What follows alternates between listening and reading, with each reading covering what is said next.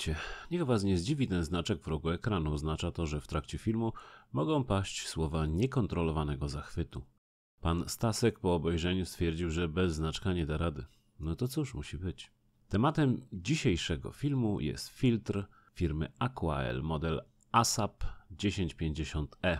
Jest to filtr zewnętrzny, popularny kubeł. Zanim o nim to powiem, że otrzymałem go od jednego z zaprzyjaźnionych akwarystów. Filtr był do momentu tego filmu całkowicie nowy, zapakowany i leżał u mnie na szafie. A dostałem go już dość dawno temu. Niestety plany jego użycia storpedowały dwa rozszczelnione zbiorniki, więc ponieważ nie było go gdzie założyć, musiał swoje odleżeć. Ale w końcu pojawił się nowy zbiornik. Filtr Tetry, który posiadałem, podarowałem koledze, który rozpoczynał właśnie przygodę ze 160-litrowym zbiornikiem, więc pozostał mi właśnie filtr Aquaela. Postanowiłem go założyć do nowego akwarium i przed założeniem postanowiłem go Wam pokazać. W zasadzie patrząc na pudełko wydaje się, że jest to klasyczny kubeł, których już kilka w życiu miałem. Filtr przeznaczony jest do zbiorniku od 150 do 350 litrów, więc ucieszyłem się nad filtracją w moim mniejszym zbiorniku. Cieszyłem się krótko. Filtr posiada pojemność 9 litrów i tyle mediów filtracyjnych można tam wepchnąć. Maksymalny przepływ wody to 1400 litrów na godzinę. Pewnie jak się zapcha będzie mniej, ale to już raczej w każdym filtrze norma.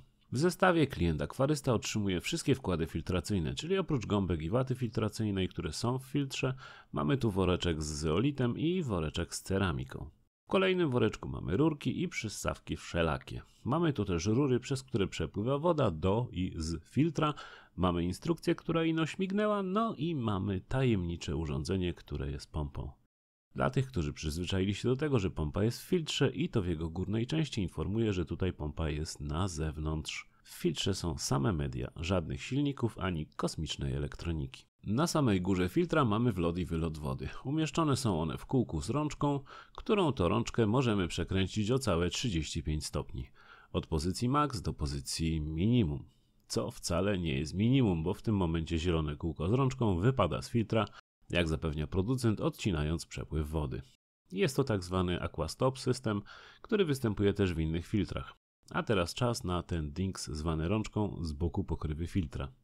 To coś otwiera filtr. Nie ma tych znanych z wielu filtrów rączek dopinających głowicę do filtra.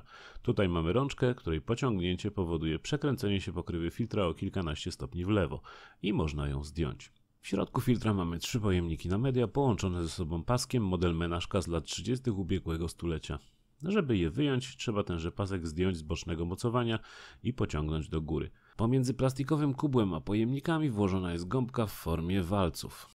Zdejmowanie poszczególnych pojemników, szczególnie jedną ręką, jest bardzo utrudnione.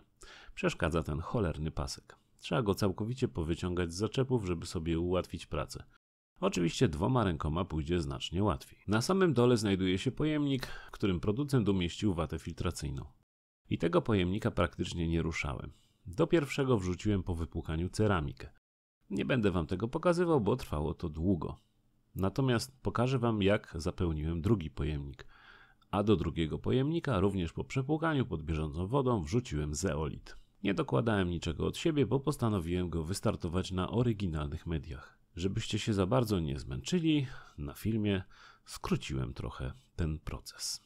Kiedy pojemnik był już pełen, założyłem firmową gąbkę i na wierzch wstawiłem pojemnik z ceramiką.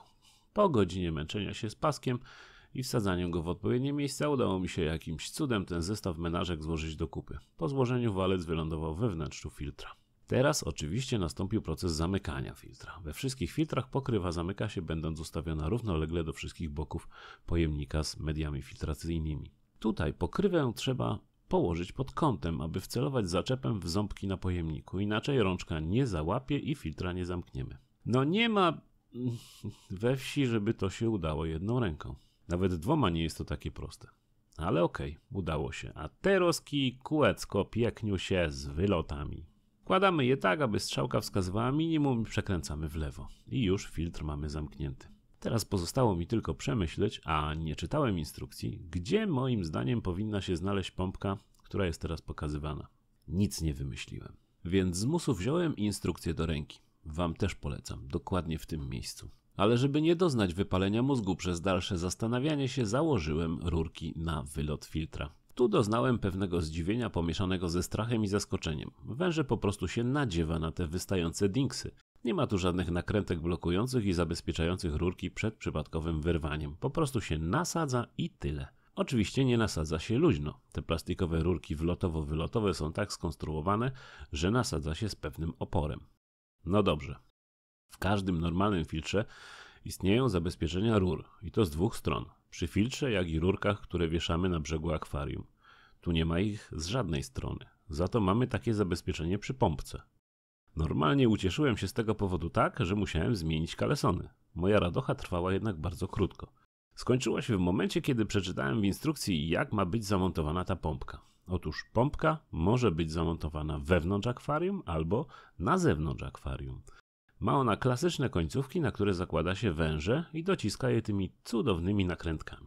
Okej, okay, jest cacy, ale na zewnątrz musimy ją powiesić na szybie za pomocą przyssawek i przykręcić do... właśnie, do czego?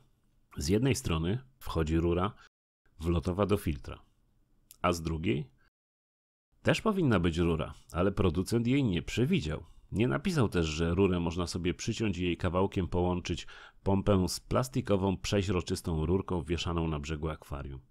Ale tu przypominam, że ta piękna zielona rura jest tylko wciskana na tą wieszaną rurkę, bez żadnych zabezpieczeń. Więc co będzie, jak się przystawki urwą i dość ciężka pompa po prostu ściągnie rurę z rury? No dobra, nie chcę nawet myśleć. Producent jednak rozwiał moje lęki. Napisał bowiem pod informacją o tym, że pompę można zamontować na zewnątrz akwarium, cytuję, uwaga, zaprezentowane na rysunkach połączenie może być użyte tylko wewnątrz zbiornika. W żadnym wypadku nie można montować pompy za pomocą nowych elementów na zewnątrz zbiornika. Grozi to zalaniem mieszkania. Koniec cytatu. Może to opacznie rozumiem, ale albo trzeba używać nie nowych, tylko starych elementów, albo elementy dostarczone przez, przez Aquaela w żaden sposób nie nadają się do podłączenia pompy na zewnątrz zbiornika bez przecięcia zielonej rury. Albo firma miała na myśli zupełnie coś innego. W każdym razie, podłączanie końcówki pompy bezpośrednio do tej półkolistej rurki wieszanej na brzegu akwarium polecam najwytrwalszym i tym ubezpieczonym przed zalaniem. Pompę na zewnątrz można zamontować tylko przecinając wąż. Producent takiej informacji nie podaje i do tego pokazuje rysunek sugerujący, że to jest wcale niepotrzebne. Okay. po próbach zamocowania pompy bez cięcia rury doszedłem do wniosku, że nie dam rady i postanowiłem umieścić pompę wewnątrz akwarium. A tu już te kolorowe zabezpieczenia do niczego się nie nadają, bo nie da się ich przykręcić do plastikowych rurek dostarczonych przez producenta. Okej. Pompa jest w akwarium, więc to połączenie nie musi być tak zabezpieczone. Ale złożenie tego poza akwarium i przełożenie do akwarium pełnego wody okazało się mało możliwe. Pompa po prostu odpadła od rury. Okej, okay. stwierdziłem, że złożę to już w pobliżu zbiornika i jak saper przeniosę do środka. Udało się połowicznie, bo pompa odpadła wewnątrz akwarium. Pewnie nie odpadłaby, gdybym zdążył przyczepić ją, a raczej rurki za pomocą przyssawek. Ale nie zdążyłem. Dalsze próby złożenia pompy z rurkami okazały się bezsensowne, bo długość rurek wraz z pompą i końcówką zasysającą okazała się większa niż długość jakiejkolwiek szyby w pionie. No szyby nie przedłużę. Ale producent w tym momencie podniecił mnie jeszcze jedną możliwością. Otóż można zamontować pompę poziomo. Zamontowałem w akwarium, kładąc ją na żwirze. Przy manipulacjach dwa razy spadła z systemu rurek łączących ją z wężem, ale nic to. W końcu się udało. Wygląda to ohydnie, ale to jedyny sposób montażu podwodnego w tym zbiorniku. Producent zastosował kilka, jak mu się wydaje, nowatorskich rozwiązań. Napełnił filtr wszystkimi mediami, tak że nie trzeba już nic kupować, ale do nędzy nie stać go było na dołączenie kawałka gąbki jako prefiltra zakładanego na końcówkę zasysającą? Producent informuje, że tego prefiltra nie ma, a mocując pompę pod wodą na rurze zasysającej wodę jest niezbędny, bo kawałek żwiru może pompę rozwalić w kilka sekund. Wszystko, co zasysa pompa, najpierw przechodzi przez nią, a potem trafia do filtra. Tylko zamontowanie jej na zewnątrz, na drugiej rurce, pozwala tego uniknąć, ale wiecie, producent nie przewidział cięcia rury. Włożyłem więc kawałek solidnej gąbki do koszyka wlotowego. I tak to obecnie wygląda. Nie podoba mi się. Sorry, ale to kaszana po prostu. Nie mówię tu o samym filtrze, ale o zastosowanych rozwiązaniach. Macie tu kolejny przykład. system wylotowy. Nie przewidziano, że chciałbym mieć wylot ponad powierzchnią wody. No nie da się złożyć z rurek i kolanek tak, żeby to się udało. Musi być pod wodą i to w połowie akwarium. Okej, okay, może ktoś tak chce, ale ja wolałbym mieć wybór. Dlaczego Aquael wybrał takie rozwiązanie z pompą na zewnątrz? Tłumaczy się, że aby ułatwić połączenie kilku filtrów szeregowo. No jasne, łatwiej kupić kilka samych plastikowych kubów bez pompy i połączyć ze sobą, a jedna pompa pociągnie wszystko. Ale to jedna strona medalu. Podejrzewam, że po prostu łatwiej wyprodukować pompę osobno i nie montować jej w filtrze, a dzięki temu ułatwia się produkcję samego kubła, bo do tego już wystarczy zwykła wtryskarka. Dlaczego nie ma zabezpieczeń łączących rurki z filtrem i rurkami na akwarium? Tego nie wiem. Chyba, żeby potanić ten zestaw. Może rury się nie urwą. Dlaczego w położeniu minimum odłączamy rury od filtra? Nie wiem. Nie znajduję tu logiki. Bo minimum to nie jest nic, a tu jest. No i co im panie zrobisz? Pomysł z paskiem łączącym koszyki dziwny. A jak się urwie, to jak wyciągnąć koszyki z filtra pełnego wody? Na koniec, jedyna rzecz, którą zauważyłem po włączeniu filtra.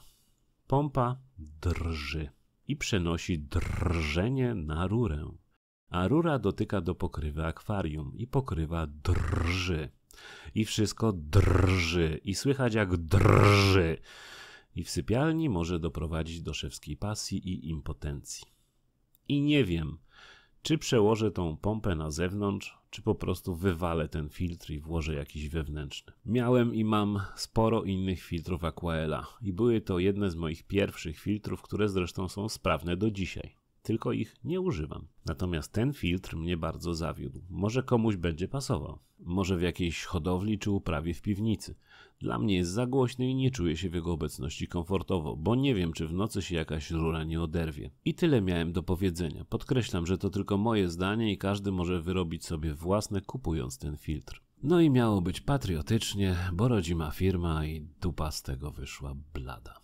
A na koniec powiem wam jeszcze, że sprawdzając działanie pompy w wodzie zapomniałem, że nie podpiąłem węża do rurki na akwarium i kilka litrów wody wylądowało mi na posadce. To oczywiście nie wina producenta, to po prostu ja byłem tak zniesmaczony montowaniem tej pompy, że przeoczyłem tak ważny szczegół.